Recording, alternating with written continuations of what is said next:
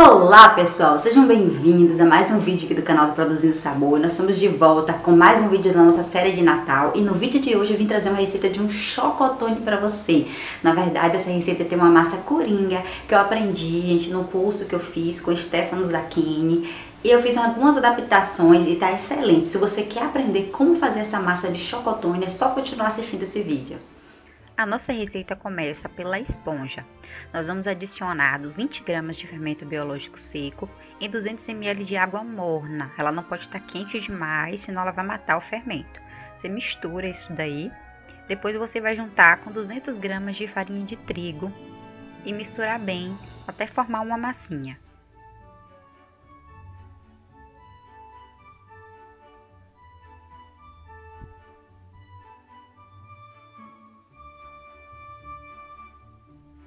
Depois de tudo misturado, você vai vedar com plástico filme e deixar descansar por mais ou menos 20 minutos ou até que dobre de tamanho. Depois de 20 minutos, até menos, ele dobra de tamanho, fica enorme, né? Para você ver, ele forma até uma, uma barriga no plástico filme por causa dos gases que soltam lá dentro. Para a massa, nós vamos utilizar 800 gramas de farinha de trigo, mais 250 gramas de açúcar refinado, 170 gramas de gemas ou 9 gemas de ovos médio, sal. Esse sal é melhor adicionar depois de mexer tudo, gente. A esponja. Eu acabei adicionando sal antes, mas é melhor adicionar depois de mexer tudo para não matar o fermento. 200 ml de água morna também, não pode ser muito quente nem estar fria. 30 ml de essência de baunilha e 30 ml de essência de panetone. Você também pode aromatizar com raspas de limão e laranja para dar mais sabor ainda.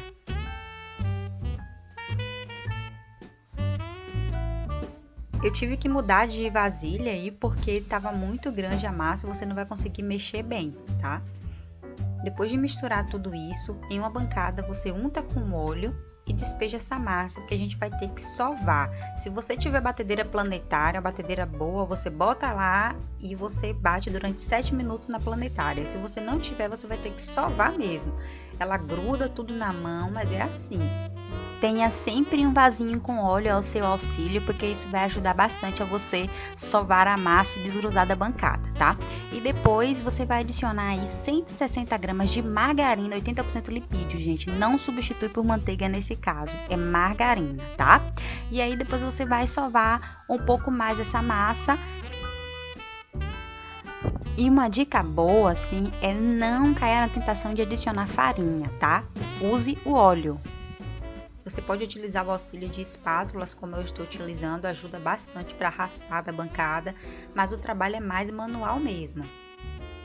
Quanto mais você sovar, mais o glúten desenvolve, menos tempo ela leva para crescer. Se você sovar pouco, a massa fica pesada, não desenvolve o glúten e ela demora bastante para crescer.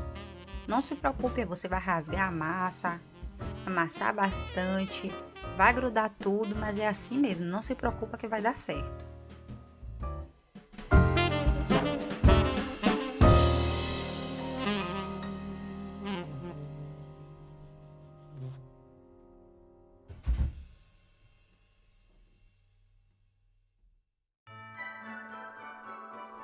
Depois de sovado a massa, você vai raspar da bancada, untar novamente com óleo para a gente adicionar as cargas a essa massa. A carga pode ser o chocolate, né, em gotas, ou as frutas cristalizadas, ou algum outro recheio que você deseja colocar na sua massa de panetone ou chocotone.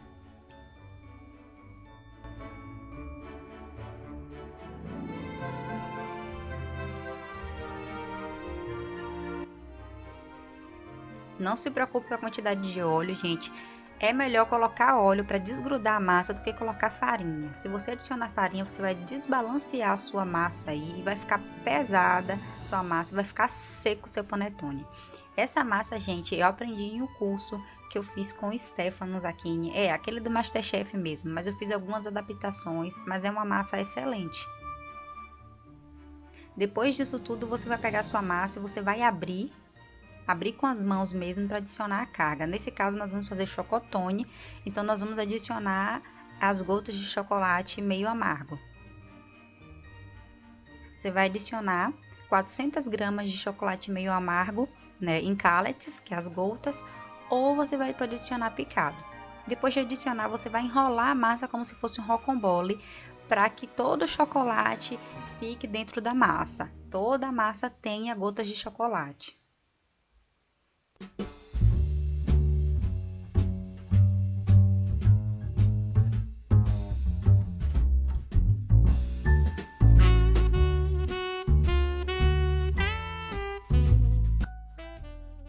Depois de fazer isso, você vai colocar em um saquinho, untar esse saco com óleo para a massa não grudar, dividir ela em duas partes, colocar no saquinho e fechar.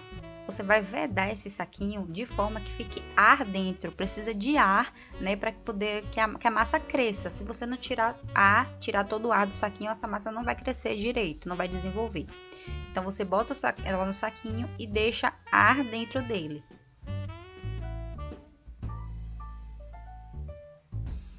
E aí você vai levar essa massa, vai deixar ela descansar aproximadamente por duas horas. Deixa ela descansar bastante lá, pode esquecer ela lá. Depois disso, chegou a hora de você colocar a massa nas forminhas. Eu estou utilizando essas forminhas de 100 gramas e vou utilizar uma também de 500 gramas, tá? Essa é a primeira massa. Depois eu até coloquei ela em um bowl para ver como é que ela desenvolvia o crescimento no bowl, para testar né, o crescimento, mas eu acho melhor colocar no saquinho mesmo, ela desenvolve melhor esse crescimento. Eu peguei minha balança, forrei com plástico para que a massa não grude e untei a bancada com mais um pouco de óleo e despejei essa massa na bancada para começar a cortar e pesar para colocar nas minhas forminhas. Se você não tiver uma balança, você coloca mais ou menos é, dois dedos de massa nessa forminha aí, porque depois ele vai crescer o dobro.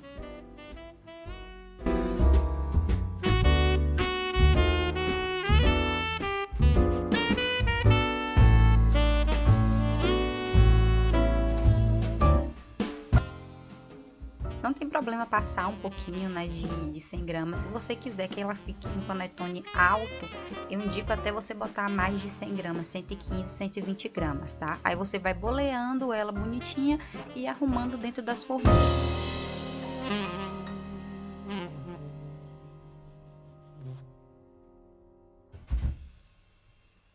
Essa daí agora é a segunda parte da massa, gente. Ela cresce bastante, rende bastante massa. Uma dica, gente, de assamento para seu panetone ficar úmido é colocar uma forma com água quente dentro do forno quando você colocar para assar, para soltar vapor. E aí continua o mesmo procedimento. No final, que eu já tinha preenchido os meus, as minhas forminhas pequenas, eu resolvi fazer um panetone grande porque sobrou a massa. Então você boleia rodando ela com a mão e depois coloca ela dentro da forma. Esse panetone deu mais ou menos 560 gramas. Depois você já bota numa forma e deixa descansar ela até dobrar de tamanho.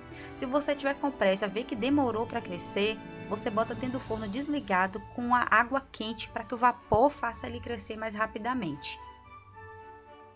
E aí você vai levar para assar aí os pequenininhos aí de 20 a 30 minutos e os grandes aí vai ser mais ou menos gente 35 a 45 minutos, depende do forno a 200 graus Celsius. E o ponto de cozimento certo é quando você espetar um palito e não sair massa. Pode sair recheio, mas não sair massa.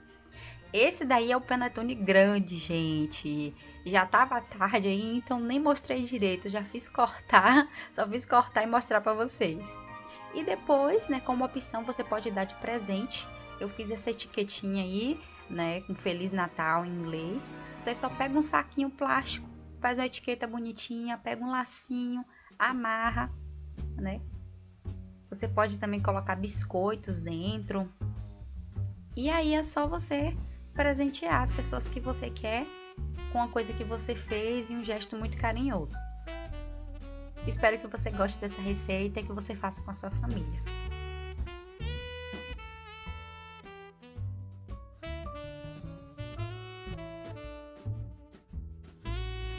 Aí, pessoal, gostaram dessa receita? Eu adorei a receita, gente. Vou fazer mais vezes aqui até chegar o Natal. Eu vou fazer essa receita e eu espero que você tenha gostado e que você faça também. O bom é que essa massa é coringa. Você pode fazer chocotone, panetone, pode colocar goiabada, pode colocar doce de leite também, Oreo, fazer vários tipos aí de variações com essa massa. Se você gosta desse tipo de vídeo, se você está gostando da nossa série de Natal, deixa teu like, ativa o sininho, se inscreve aqui no canal se você não é inscrito ainda, nos segue nas redes sociais, arroba Produzindo Sabor, gente, e acesse nosso site também, a gente tem todas essas receitas lá, todas descritas, bem legal, para você ficar por dentro de todas as nossas novidades aqui, certo? E eu te espero aqui no próximo vídeo. Tchau, tchau!